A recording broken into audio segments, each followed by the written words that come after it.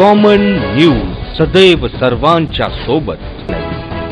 Common न्यूजच्या ताज्या घडामोडी जाणून घेण्यासाठी आताच आमचे कॉमन न्यूज चॅनल सबस्क्राईब करा आणि रहा आमच्यासोबत. यावल शहरातील प्रतिबंधित क्षेत्राकडे शासनाचे अक्षम्य दुर्लक्ष.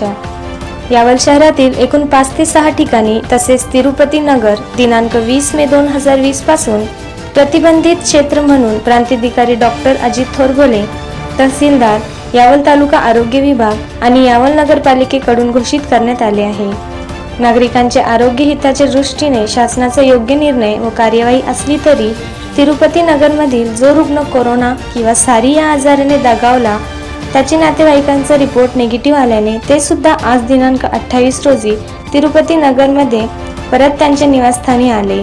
दिनांक वीसपासून या प्रतिबंधित क्षेत्रातील रहिवासी नागरिकांच्या प्राथमिक सुविधांसाठी म्हणजे वैद्यकीय सेवा दूध पाणी पुरवठा भाजीपाला इत्या इत्यादीसाठी यावल नगर परिषदेने यावल महसूल विभागाने आणि यावल शहर व यावल तालुका आरोग्य विभागाने तिरुपती नगरमधील तसेच यावल शहरातील प्रतिबंधित क्षेत्रातील नागरिकांसाठी पर्यायी व्यवस्था न केल्यामुळे प्रतिबंधित क्षेत्र म्हणून घोषित करण्यात आलेल्या सर्व ठिकाणच्या नागरिकांमध्ये शासनाविषयी तीव्र नाराजी संताप व्यक्त करण्यात येत असून शासनाने प्रतिबंधित क्षेत्रातील नागरिकांच्या प्राथमिक आरोग्य सुविधांसाठी तात्काळ कार्यवाही करावी असे संपूर्ण यावर शहरात बोलले जात आहे.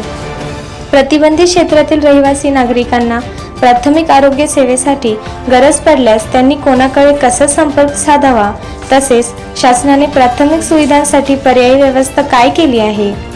प्रतिबंधित क्षेत्रासाठी प्राथमिक सुविधांसाठी शासनाचे अटी शर्ती व निकष काय काय आहेत? तसेच प्रतिबंधित क्षेत्रात रहिवासी नागरिकांच्या आरोग्य सेवेबाबत एखाद्या वेळेस काही अनुचित अप्रिय घटना घडल्यास याला संबंधित अधिकारी सुद्धा जबाबदार राहतील. याची शासनाने नोंद घ्यावी असे सुद्धा संपूर्ण यावल शहरासह तालुक्यात बोलले जात असून याकडे लोकप्रतिनिधींनी आपले लक्ष केंद्रित करावे व शासनाकडून पर्यायी व्यवस्था तात्काळ उपलब्ध करून द्यावी अशी सर्व स्तरातून मागणी होत आहे.